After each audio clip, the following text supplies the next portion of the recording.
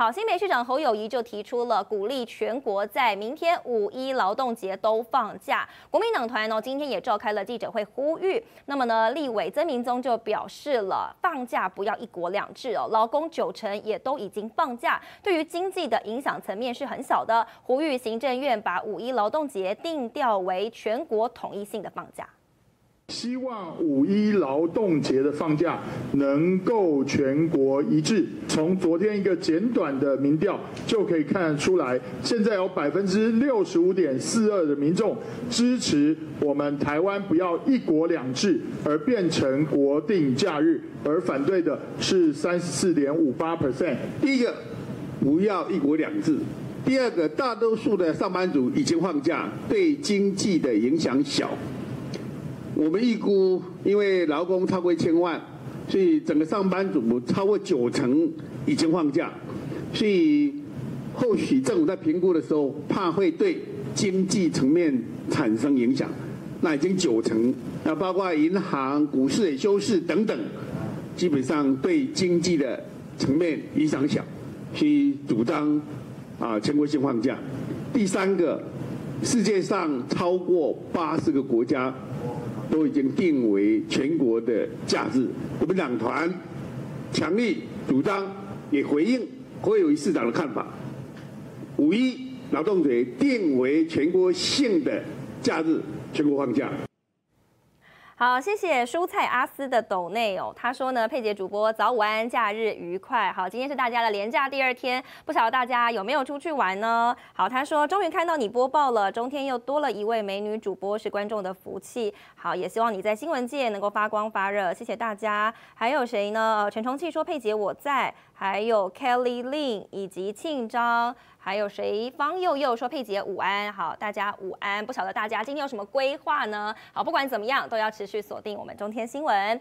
台北市立委第四选区有，内湖南港区国民党人选呢，即将是由台北市议员李彦秀跟游淑慧要进行初选对打。好，目前呢，日前已经在新义南松山获得立委提名的台北市议员徐巧芯就认为，他说呢，游淑慧敢冲锋陷阵，能够让港湖的选战成为热战，让蓝营的。选民归队，同时呢，还具有挖掘议题真相的能力，能够以实际的证据来检验民进党，让中间选民买单，甚至呢是在二零二四的选举过程当中来协助总统候选人往前迈进。他说呢，他善言敢战，我是真心在力挺他。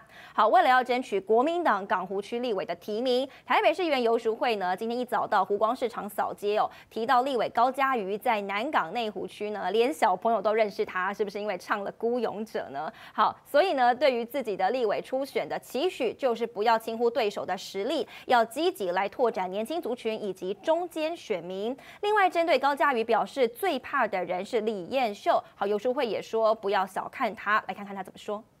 想问一下，就是高嘉瑜他昨天是去国小的园游会，那他是不是想要拉拢年轻票仓？那你以后就是也会往国小那边去进？呃，昨天的那一场活动，我比他早到，所以你说呢？哈，应该是这么说啦。嘉瑜确实在内湖南港哈，我敢说，这个走进国中国小的校园里面，哦，家长唯一认识的民意代表哦，真的是高嘉瑜，也不是李彦秀，也不是我，哦，那这个是我们必须要去拓展的中间跟年轻的选民，因为国小的爸妈都大概是三十到四十岁啊。所以走，因为我们固定有在参加这个园游会哦，那我有发现说，我们在这一部分选票上的一些一一个漏洞在这里哦。我走进学校里面，连小朋友都认识高嘉瑜，这个倒是让我非常的讶异哈。所以不要永远觉得自己最强哈。燕秀姐觉得说她是高嘉瑜最害怕的人，但是嘉瑜就说我不知道他为什么这样想哈。所以不要觉得自己最强，也不要小看对手啊。就是我们要从各个角度去看。大家的这个优优优胜劣败哈，SWOT 分析一下，对。好，台北市港湖立委的竞争激烈哦，非常的白热化。那么台北市议员游淑慧就说啊，他说自己的主题曲是堆堆堆，要先追上李彦秀，再追高嘉瑜。而今天呢，高嘉瑜就回酸游淑慧，说只有追恐怕是不够的，应该要改唱《隐形的翅膀》啦，用飞的比较快。而至于他要改唱什么歌，他说自己要改唱儿歌三百首，因为呢，周星驰的电影《大话西游》当中，这首歌是用来降妖伏魔的。我觉得他用堆堆堆的方式，现在可能来不及，他可能需要隐形的翅膀，直接用飞的比较快。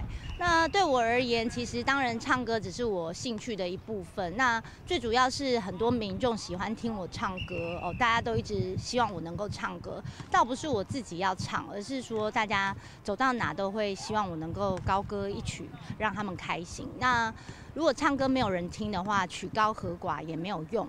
那他们一直都在跟随我，然后学我唱歌。我是觉得说，呃，大家各有长处啦。那现在他们们就是唱我以前都唱过的歌嘛。那我现在就是用儿歌三百首回击他们，因为儿歌三百首就是降妖伏魔用的嘛。没有啊，儿歌三百首就是周星驰的《西游》这个。